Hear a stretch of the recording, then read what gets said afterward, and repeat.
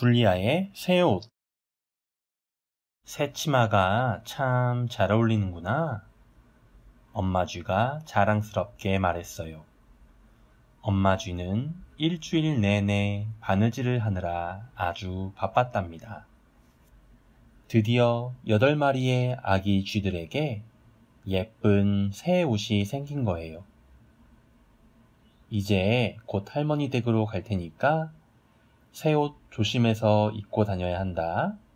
할머니께서는 더러운 쥐를 싫어하시잖니. 일곱 마리의 아기 쥐들이 한 줄로 서서 엄마 쥐의 말에 고개를 끄덕였어요.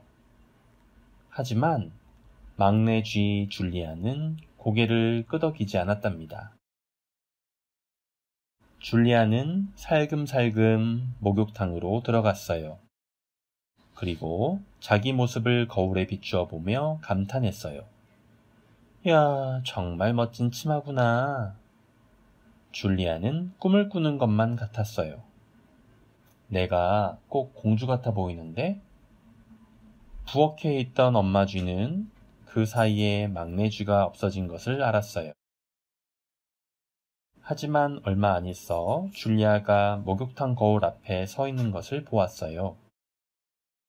줄리아, 같이 가자. 우리 모두 할머니 댁에 가야지. 줄리아도 할머니 댁에 가고 싶었어요. 할머니도 틀림없이 아주 예쁘다고 칭찬하실 테니까요. 숲속에 있는 할머니 쥐를 찾아갔어요. 할머니 쥐는 새 옷을 입은 아기 쥐들이 너무 예뻐서 뽀뽀를 해주었어요. 아기 쥐들은 신이 나서 할머니 쥐 주위를 빙빙 돌며 뛰어다녔어요. 곧 비가 올 것 같구나. 안에 들어가서 주스를 마시자꾸나. 할머니 쥐가 말했어요. 와, 맛있는 주스다. 아기 쥐들이 합창하듯 소리를 질렀어요. 할머니 쥐는 줄리아를 번쩍 안아 올렸어요. 치마가 아주 잘 어울리는구나. 참 예쁘다. 밖에는 비가 내리고 있었어요. 아기 쥐들은 집안에 모여 앉아 주스를 마시고 커다란 쿠키도 먹었답니다. 그리고 잠시도 쉬지 않고 왁자지껄 떠들었어요. 할머니 쥐는 손으로 귀를 막았어요. 얘들이 정말 시끄럽게 구는구나. 엄마 쥐는 아기 쥐들을 밖으로 내보냈어요. 다행히 비는 더 이상 내리지 않았답니다. 새 옷 버리지 않게 조심해서 놀아라. 엄마 쥐가 큰 소리로 말했어요.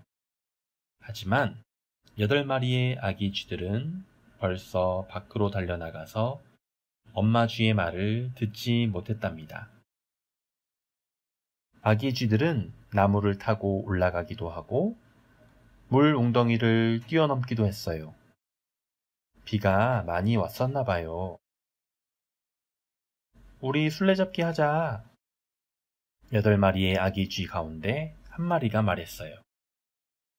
아기 쥐들은 다람쥐와 토끼랑 술래잡기를 하며 놀았어요. 아기 쥐들은 잡히지 않으려고 빨리 뛰어다녔죠. 하지만 막내 줄리아는 날쌘 토끼한테 금방 잡히고 말았답니다. 줄리아는 넘어지면서 흙탕물에 엉덩방아를 찍고 말았어요. 놀란 일곱 마리의 아기 쥐들이 줄리아 주위로 삥 둘러섰어요. 아기 쥐들 모두가 진흙투성이었고 치마는 아주 더러워졌답니다. 엄마가 화내실 거야. 손가락이 얼마나 지저분한지 한번 보라니까. 줄리아가 울면서 말했어요. 줄리아는 할머니 집으로 돌아갈 용기가 나지 않았어요. 하지만 언니 쥐들이 좋은 꾀를 생각해냈답니다. 아기 쥐들은 뒷문을 통해 집으로 몰래 들어갔어요. 커피를 끓이고 있던 할머니 쥐는 더러운 아기 쥐들을 보고 깜짝 놀랐지만 웃지 않을 수 없었어요. 너희들 아주 지저분해졌구나. 할머니 쥐가 웃으며 말했어요. 너희들을 누가 말리겠니? 엄마가 분명히 화내실 거예요. 줄리아가 울먹이며 말했어요. 심하게 화내진 않을 테니 너무 걱정 말아라. 할머니 쥐가 줄리아를 진정시켰어요. 나를 따라오렴. 목욕탕에 물을 받아 놓을 테니 엄마한테는 아무 말도 안 할게. 목욕탕에서 할머니가 줄리아의 치마를 벗겨주었어요. 너는 내가 본 쥐 가운데 가장 더럽구나. 할머니 쥐가 웃으며 말했어요. 아기 쥐들이 목욕을 하는 동안 할머니 쥐는 치마를 빨았답니다. 빨래가 끝나자 할머니 쥐는 치마를 말리기 위해 빨랫줄에 널었어요.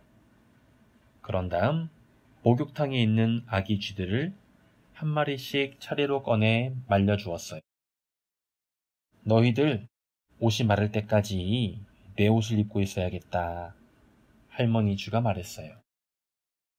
엄마 쥐는 방에 앉아 책을 읽다가 할머니 쥐가 어디 있는지 궁금해졌답니다. 할머니 쥐는 부엌에도 없고 복도에도 없었어요. 엄마 쥐는 문득 빨간 치마 여덟 벌이 빨랫줄에 널려 있는 것을 보았어요. 엄마 쥐는 빙그레 웃었어요. 그리고 할머니 쥐가 그동안 무엇을 하고 있었는지 알 수 있었죠. 엄마 쥐는 다시 방으로 돌아가서 조용히 책을 읽었어요. 얼마 안 있어 아기 쥐들이 한 마리씩 시무룩한 표정으로 방에 들어왔어요.